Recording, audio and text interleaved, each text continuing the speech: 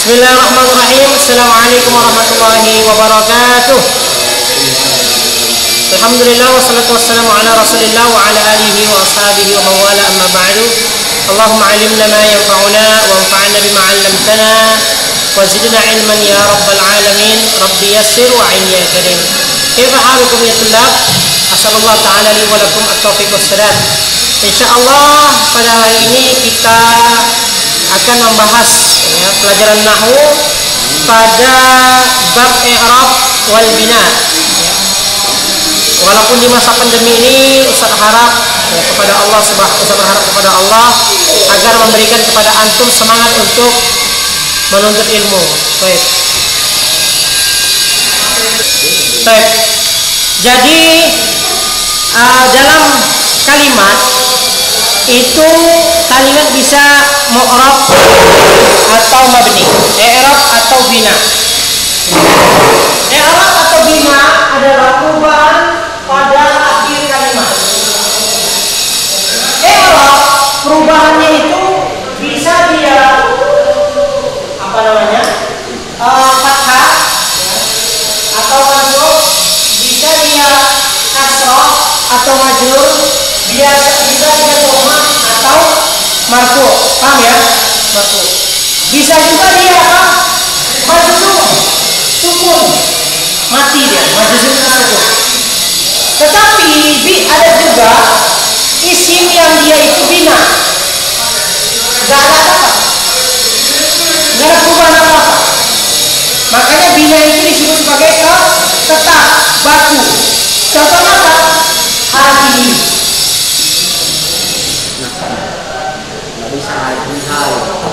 Gak bisa jadi hadaha. Atau hadiha gak bisa. Contoh dalam kalimat aku melihat itu. Atau aku melihat ini. Roa itu. Roa itu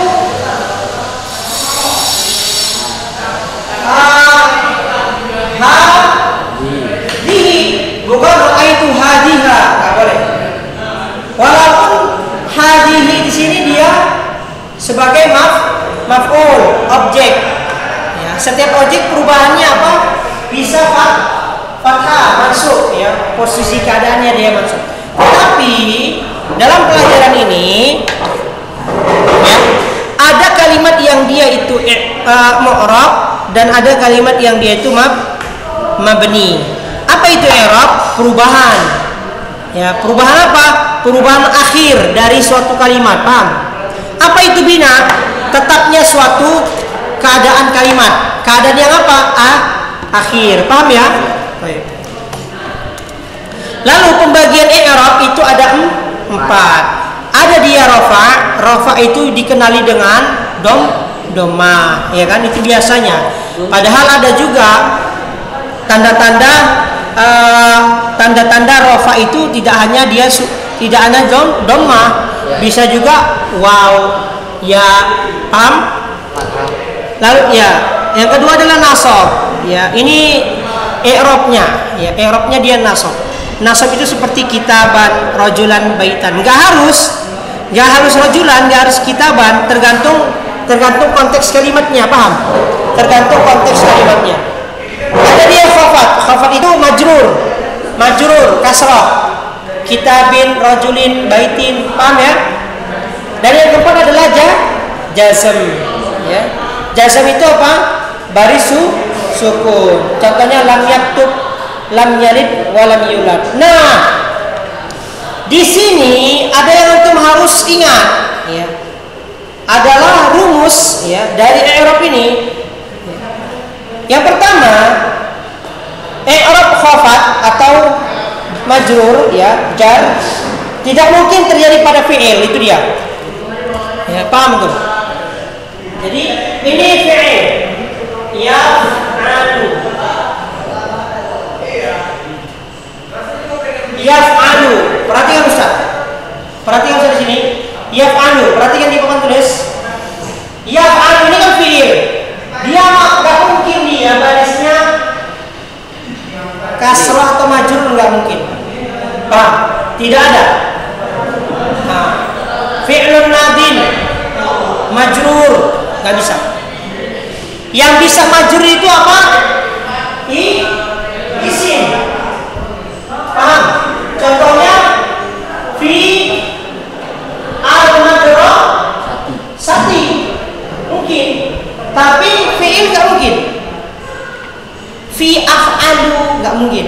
fi af'alu di saya melakukan nggak jelas apa nggak mungkin ya. Paham ya? Jadi nggak mungkin terjadi pada fi'il. Apa itu? Kas kasrah atau majrur majrur atau khofat? Bahasanya banyak. Ada khafdun ada jar. Juga isim tidak mungkin dia apa? Isim nggak mungkin apa? Su sukun nggak mungkin sukun isim itu nggak mungkin sukun nggak mungkin sukun pasti dia hidup terus. Fil madrasati ilal madrasati minal madrasati. Nggak nggak pernah minal madrasah. Sukun tapi kalau fiil ya. Kalau fiil mungkin dia majzum contohnya akal tayahi udah makan? Lam akul. Mati dia terakhir. Ya. Lam akul. Lam akul lam akul mati. Lam boleh. Itu yang harus diingat rumusnya. Pertama fiil nggak mungkin majrur. Paham? Fiil nggak mungkin maj majrur. Ya. sedangkan isim mungkin majrur. Oke? Itu kaidah. Ya. Lalu isim nggak mungkin majzum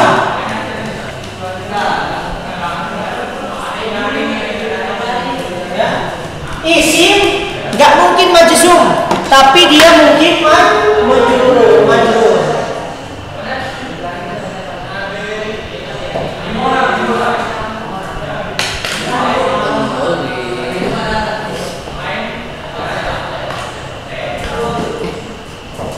Oke ini isim mungkin majrur mungkin teknis fiil mungkin majrur enggak isim mungkin majzum enggak i fiil mungkin majrur Maju. Ma majrur fiil enggak. Eh majzum ya majzum fiil mungkin majzum Mungkin. jadi majrur itu dia barisnya kasrah ya salah satu tanda majrur itu kasrah bisa juga tanda kasrah itu ya ya. Dan fiil itu ya mungkin dia majzum. Apa itu majzum? Tanda sukun mati. Oke ya.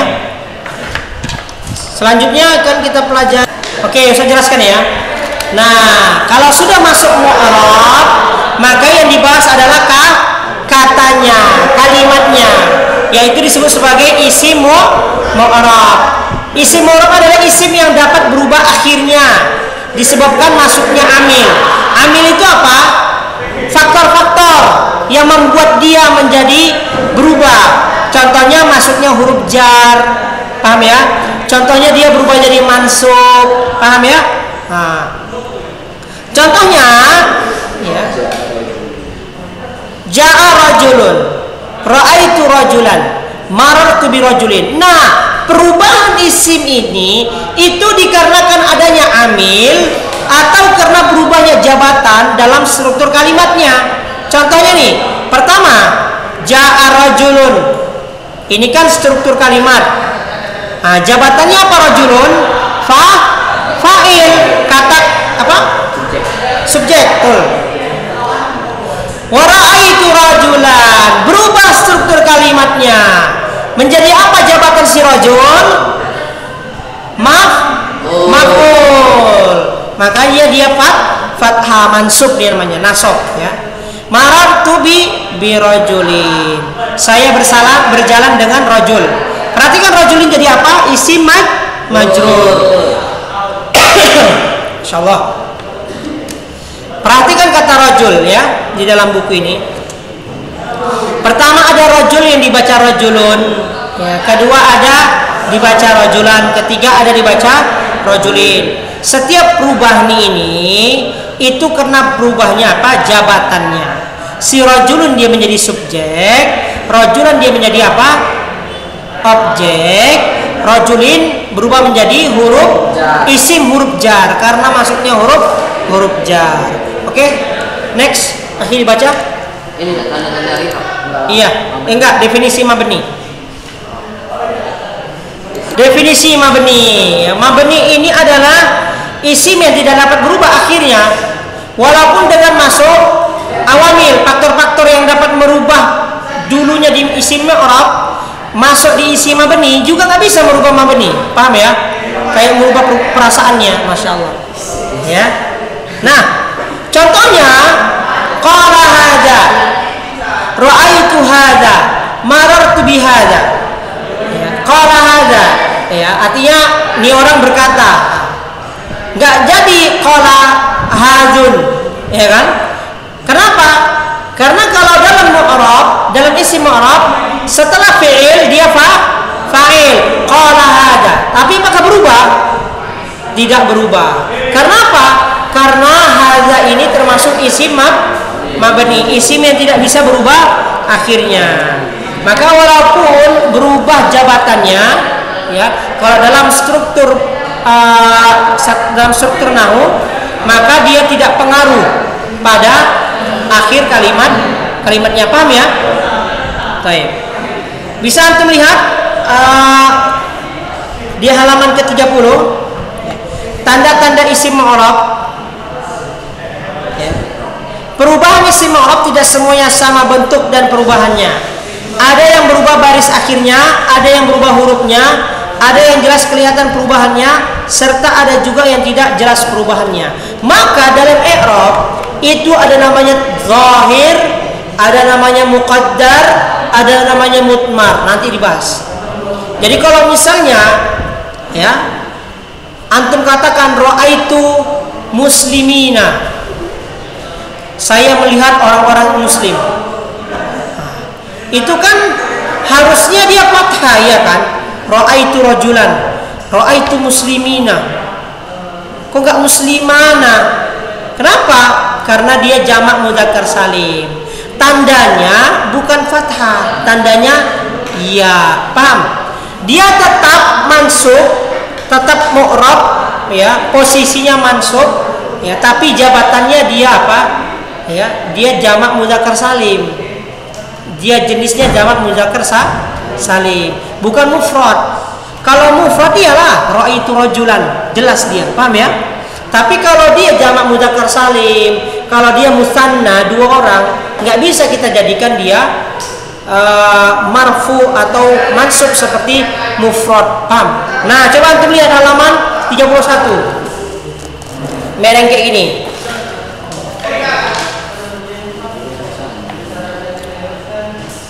ya yang di bu, yang di apa? Yang di rumah silakan lihat apa namanya tabel atau bagan yang ada di layar. Nah isim-isim mu'rab dan tanda-tandanya kita sudah pernah bahas bahwasannya isim-isim mu'rab ini ada berapa? Sembi?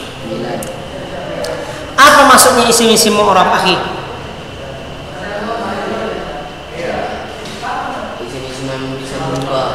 Masya Allah, itu memang cerdas tuh. Isim-isim yang dapat berubah, apa yang berubah? Akhir akhir barisnya. Tetapi bisa jadi perubahannya bukan hanya baris, tapi penambahan penambahan apa namanya? penambahan huruf. Dia tadinya baris diganti jadi huruf. Misalnya dia masuk barisnya fathah, nanti dia berubah dia diganti menjadi apa? Alif, atau ya akan kita lihat di sini ya. Oke. Okay. Anda bacakan ya untuk perhatikan. Yang pertama isim mufrad. Isim mufrad. Contohnya waladun, oke? Okay? Oke. Okay. Contohnya waladun. Waladun ini kalau posisinya marfu' tandanya apa? Doma. Karena dia mufrad jelas. Contohnya kalau dia mansub menjadi waladan. Tandanya apa? Fathah jelas karena dia mufrad. Kalau dia majur ya. Contohnya waladin. Tandanya apa? Kasroh ya jelas karena dia mufrad cuma satu nampak kasroh. Yang kedua berubah lagi nih, drastis. Musanna. Musanna itu artinya gan ganda. Dua orang, iya kan? Ganda. Contoh kalau dia marfu, waladani. Loh, mana ini marfu apanya domanya? Ya iyalah, dia kan musanna. Maka tandanya apa? Al alifu. Jangan antum buat doma, jangan. Apa? Enggak dibuat, enggak dibuat. Karena ulama bahasa memilih tanda dari musanna ini adalah a, alif. Paham ya? Nunnya tidak, tidak melihat kepada nun. Paham itu? Misalnya orang baru belajar bilang dengan alif jadi walada gitu. Kenapa? Misalnya orang yang nggak ngerti bilang gara-gara alamatnya ada alif dibuatnya walada kali. Enggak, enggak. Insya Allah kalau dia mem- eh, memperhatikan kaidah ini, insya Allah dia tahu itu. Jadi waladani, ya, tanda marfu'nya adalah a, Alif. alif. Paham kan ya? Oke. Karena yang dekat dengan fathah, yang dekat dengan kasrah, yang dekat dengan dhammah adalah apa? Alif, ya dan waw. Bukan huruf hijaiyah yang lain, paham ya antum ya? Namanya huruf vokal, paham tuh? A, ya, waw itu huruf vokal, maka dijadikan tanda i'rab sebagai pengganti apa? Sila Ah, ah, huruf ilah itu ya. karena dia huruf vokal ya kan? Bagaimana kalau dia mansub Ma, beda lagi nih waladaini jadi ya, ya. bagaimana kalau menjadi majrur waladaini juga bentuknya sama ya dan tandanya juga sa sama jamak mudzakkar salim Nah, jamak salim contohnya kalau dia marfu muslimuna Nah, tandanya apa? Al-waw, beda deh. Kalau dia mansub contohnya muslimina. Ra'aitu muslimina. Tandanya apa? Alia. Kalau dia majrur maratu bil muslimin. Alia, ya. Tandanya sama, ya, bentuknya juga sama. Kalau dia dia kalau dia mansub dan maj, majrur. Jawa musanna muannas muannas salim ya muannas salim muslimatun kalau dia marfu' ya ada tun maka dia dhammah karena tun jelas ya. Muslimatin kalau dia mansub. Kasrah. Baris akhirnya. Muslimatin kalau dia maj majrur. Jadi kalau antum uh, pernah baca Al-Quran khalaqas samawati. Nah, itu dia kasrah berarti. Ya kan? Walaupun dia bentuknya jamak ya kan. Jamak taksir. Contohnya kalau dia marfu auladun. Ya domah jelas. Auladin. Fathah. Kalau dia mansub. Aulaa ya auladan. Auladin kalau dia majrur. Maka mufrad sama jamak taksir ini sa sama dia dalam i'rab lalu yang keenam al asma al khamsah ingat ya al asma al khamsah abuka ya kan hamuka ya kan fuka zuka ya akhuka, abuka, amuka, fuka, zuka. Ini kalau dia marfu, maka dia waw. Abu, waw. Bukan su, sukun. Abu, kan sukun kan wawnya kan? Bukan. Yang menjadi tandanya adalah waw. Abaka. Alif. Abika. Ya. Al-Maksur ya Musa ah, tadi kan saya pernah bilang bahwasanya nanti Arab ini ada yang dia zahir ada yang mukad muqaddarah apa itu? muqaddarah sudah kita bahas ya muqaddarah itu artinya kira-kira. Artinya diperkirakan. Maka Musa posisi marfu'nya dan tandanya adalah dhammatun muqaddaratun. Apa tuh dhammatul muqaddaratun artinya? Ya kita perkirakan dia itu dhamma paham? Walaupun dia tidak ada barisnya di situ paham? Nggak ada doma kan? Musa karena apa? Karena karena harokat yang paling susah bagi orang Arab adalah apa? Doma iya. Nggak mungkin lah. Musayu susah. Paham tuh? Nah. jadi mereka hilangkan sudah. Paham tuh? Maka disebut sebagai iaknya di situ al maksud apanya namanya? Jenisnya. Dan kalau dia masuk Musa tetap ya. Tetapi tandanya dia fathah muqad darah. Makanya dia ada zahir jelas yang jelas itu ya seperti waladan. Paham ya? Musa mana Musa? Musa ya nggak ada. Nggak ada. Karena memang apa? Karena di situ yaknya tambahan dia. Sifatnya tambahan. Makanya Musa tidak ada titiknya yaknya ya kan? Tidak ada titiknya kan? Nah, lalu kalau dia majrur tetap Musa. Musa Musa Musa tiga-tiganya. Nah, alamahnya tandanya apa? Kasrah muka darah. Tandanya adalah kasrah yang diperkirakan. Lalu yang kedelapan al-mangkus ya. Tetap dibaca al-mangkus siaknya tetap dibaca. Al-qadi tetapi yaknya tidak hidup. Dhammahnya al-qadi tidak al-qadiyu. Susah orang Arab ngomong. Al-qadiyu. Ya. Qala al-qadiyu susah. Al-qadi sudah. Gampang. Ya. lalu yang mansub dia al-qadi. Al-qadiyah. Kalau dia mansub alqa alqadiyah. Karena fathah dia masih masih baris yang gampang diucapkan sama orang Arab. Alqadiyah alqadiyah. ya. Ra'aitul qadiyah fathah fathahnya zahira paham ya bukan muqaddara karena jelas tuh ya fal qadiyah akhirnya lalu kalau dia majrur alqa alqadi tidak alqadiyi susah alqadiyi jadi harokat paling gampang itu pertama ke a fathah bagi orang Arab. Kedua kasrah.